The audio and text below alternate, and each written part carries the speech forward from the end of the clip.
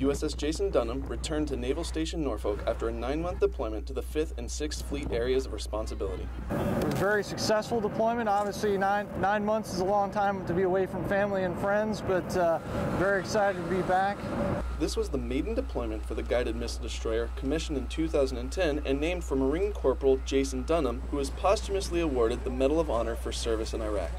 Well, it's like a homecoming for our son, also to me. And, and like I said before, the, everybody on the ship is, is like our extended family now. They're, they're our sons, our daughters, our brothers, our sisters, and, and we take that pretty serious. Reporting from Naval Station Norfolk, I'm Seaman Scott Youngblood.